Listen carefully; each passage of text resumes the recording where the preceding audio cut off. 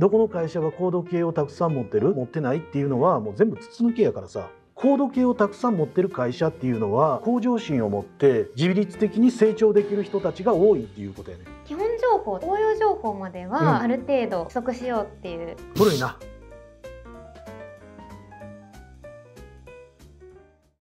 皆さんこんにちは。SE プラス IT 教育チャンネルナビゲーターの寺井です。早速ですが今回インタビューをさせていただく講師は高度情報処理試験対策のカリスマこと三好講師です。三好さん今日はよろしくお願いします。よろしくお願いします。はい。では早速ですがはい。簡単に自己紹介をしていただいてもよろしいですか、もともとあのこの業界に入ったっていうか働き出したのが平成ちょうど元年なんですよ。そうなんですね、かれこれ何年や？30?34 30以上は経ってますよね。年ぐらい。はい。うん。はい。あのもともと勤めたのが関西のソフトウェアの開発会社ででそこで13年ぐらい働いてでちょうど2001年はい。に独立して今に至るかな。あはい。そうなんですね、うん、で今の仕事っていうのが3つの仕事をしてて1つがコンサルタント。IT コンサルタントっていう仕事をしててで2つ目がまあまあ SE プラスさんでやらせていただいている講師業。で3つ目が本書いてる。はい、こちら本日もちょっといくつか本情報処理教科書シリーズのプロジェクトマネージャーの本ですとか、今はその3つの柱でやってるかな。ありがとうございます、三好さんといえば、うん。情報処理技術者試験の。全区分をこう取得されているっていうのが私の中でイメージ強いんですけれども、い。つ全制覇されたんですか？いつやろ平成21年や。そうそう覚えてる覚えてる。21年。平成21年、うん、新試験制度に変わってすぐ、はいそれまでね多分ね僕が日本で一番早く全区分制覇をする予定やってん。予定だった？予定やってん。ただあのもう忘れもしないニックキーエンベデッドっていうのがあって、はい。あれに7年落ちてんの。あれだけ通れさん。で7年。うん、と惜しかったですね。そうそうちょっと惜しかった。3, 三番目か5番目ぐらいちゃうかな。今年また受けるけどな。もう一回。あそうなんですか、僕いつも情報処理試験って今でも受け続けてんねやんか、はい。これはあの講師としてもうマナーと思ってんねん。試験対策するんやったら今は試験受けとかないと何を語んねんちゅう話や。エンベデッドだけはね合格してからあれだけ受けてへんねん。ついにそろそろじゃあ2回目を受けるっていうそうそうそう、一応ねはここからはですね、うん。この情報処理技術者試験の中での購読文についてはい。いろいろお伺いしていきたいなと思うんですけれども、はい。はいそもそも、うん。こう企業が高度区分の情報処理技術者試験に対してこう資格を取っていこうっていうのは、どういう必要性があるんですかね？はいはいはい、これからますます高度系っていうのは会社にとって必要な資格になっていくのはもう間違いない。そうなんですか。うん、海外の方ではもう進んでんねんけれども上場企業大手企業あるやん。でその上場企業は人的資本の情報開示っていうのを進めていかないといけないねって。はい。上場企業って株を売買して買ってもらうためにいろんな情報公開してるやん。うん。我が社の決算はこうですよとか我が社はこんなことを考えてますよとか。その中にこれから日本も我が社の人材っていうのはこういう人たちが多いですよってアピールしていかないと投資が集まってけへんようになる実際にねもう日本でもそういう動きっていうのは始まっていて今年の6月にはね政府の方から人的資本の可視化指針っていうのが出てるはずなんですよ。でその中を見ると研修にどれぐらい時間を使ったかとかあるいは研修にどれぐらい費用をかけたとかそういう項目をまあ例としてね挙げてるんですけれども我々の業界で人的資本で可視化ってなるとその研修を受けた受けないどれぐらい時間かけたどれぐらいコストをかけた確かにそれも重要です。けれどもその成果としての、まあ、一つの資格我々の業界って資格ってむちゃくちゃあるからね。国家資格だけではなくベンダー資格もあるし。だからその資格っていうのが KPI から外れるっていうことは考えられないし。やっぱり KPI としてお客さんが目に留まるのはねああこんなに研修時間かけてるのかとかこんなに研修費用かけてるのかっていうよりもこれぐらい成果が出てるんだこれぐらい資格を持ってる人が多いんだという話になってくるのは間違いないよね。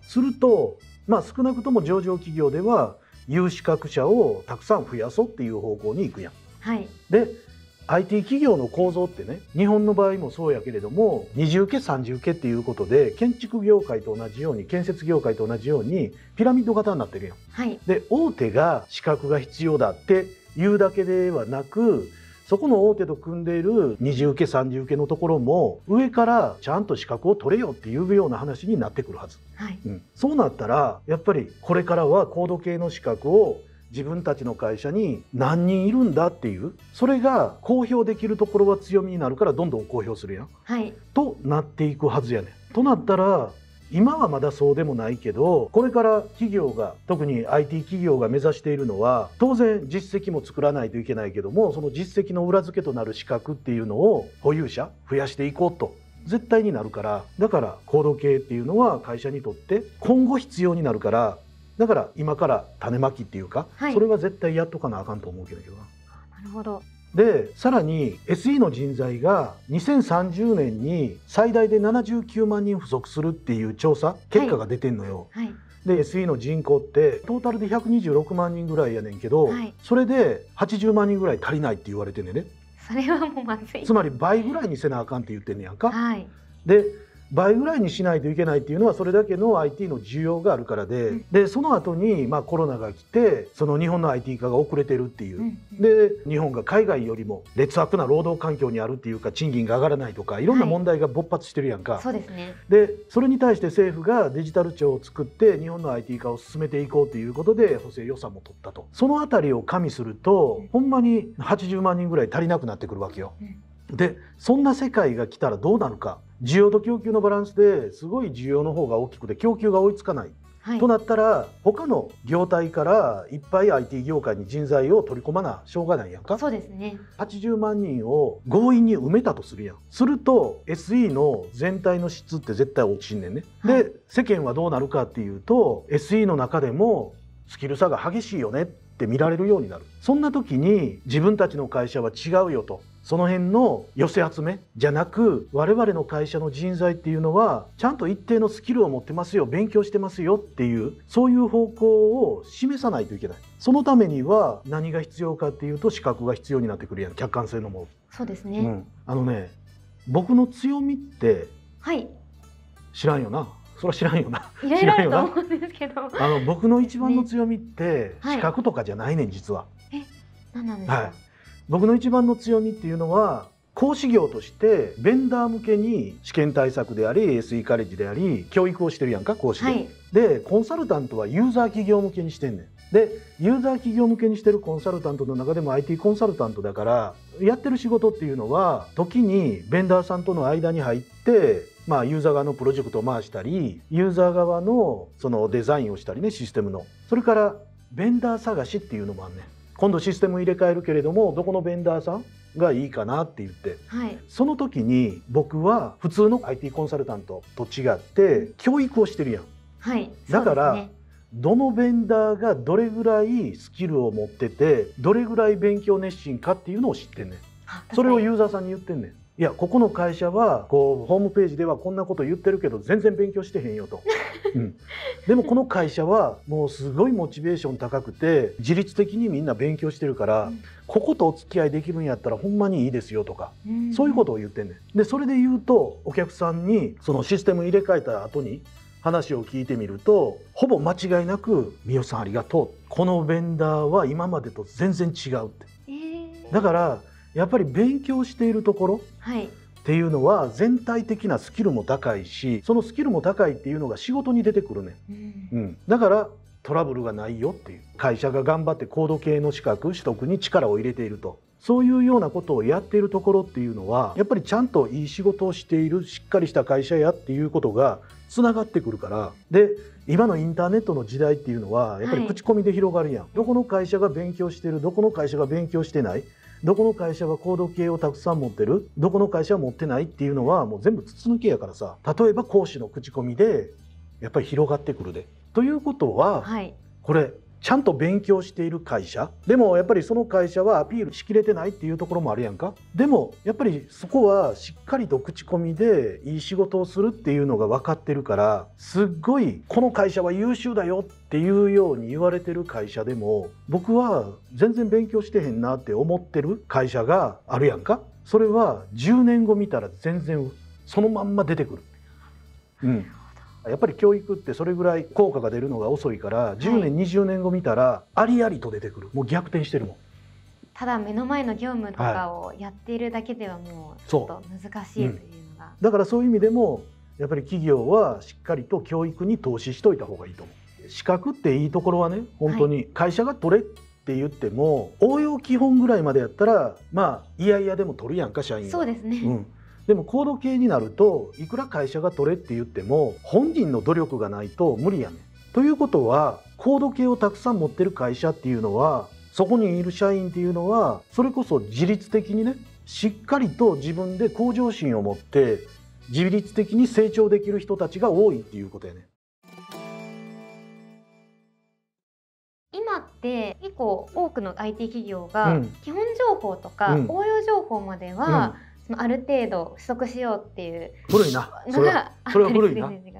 あのそれは理由があって、はい。一つは基本応用をまだ持ってない人が多いからそういう話になっているっていう。だから理想と現実の現実の方を見てるからまず基本応用を増やしていこうとはい。いう話になってるだけやねん。今の現状がその企業が基本応用を社員に取らせたいって言ってるのははい。現実界って考えといた方がいいんじゃないかな。これからは未来は高度系まあ少なくとも企業の中で基本応用を取る人が多くなってきたら高度系の方に次のステップとしていこうっていうのは多分当たり前になってくると思うんで。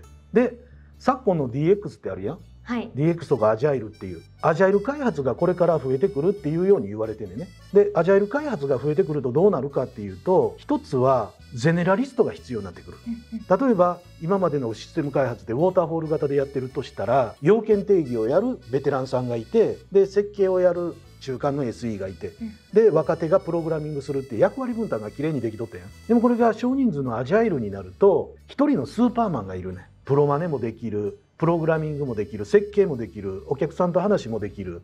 でリリースまでできるっていう。それが応用情報で育ちますかっていうとちょっと無理やねんな。あそうなんですね。やっぱりコード系を一通り揃えないとそんなに揃わない。コード系の資格持ってる人はよく知ってると思うねんけどコード系の資格を取ったから仕事をできるっていうわけでもないねん。そんなレベルじゃない。仕事を成功させるっていうのがこれぐらいのレベルだとしたらはい。資格はこの辺。だから今の情報処理試験の高度系のレベルっていうのは初心者がこれから自分がその世界に入っていく。例えばプロマネであればこれから将来プロマネやる。それに備えて自分で勉強しておこうっていう。それが資格やねん。お医者さんの資格もそうやんか。はい。最初の第一歩やねんな。そうですね、うん、でその最初の第一歩やからそれを自律的にやってる人たちが多い会社とやってない会社。